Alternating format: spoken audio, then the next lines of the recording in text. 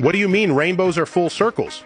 Yep, that magical arc you see in the sky, it's just the top half. Rainbows are full 360 degree circles, but from the ground, Earth blocks the bottom. Only from high up, a plane or mountaintop, can you see the full loop. But here's where it gets trippy. No two people ever see the same rainbow, because what you see depends on your exact position. You move, the rainbow moves too. Try chasing one.